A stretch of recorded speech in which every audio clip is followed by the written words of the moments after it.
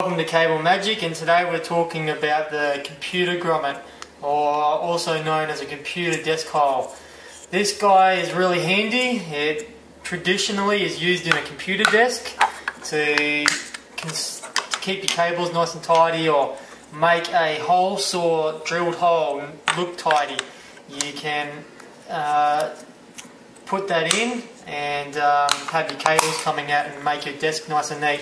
These are really handy and useful when you're wall mounting TVs. They give that professional touch to hide up holes drilled in the plaster or the wall when you're hiding your cables when you're wall mounting your TV. They're available from Cable Magic.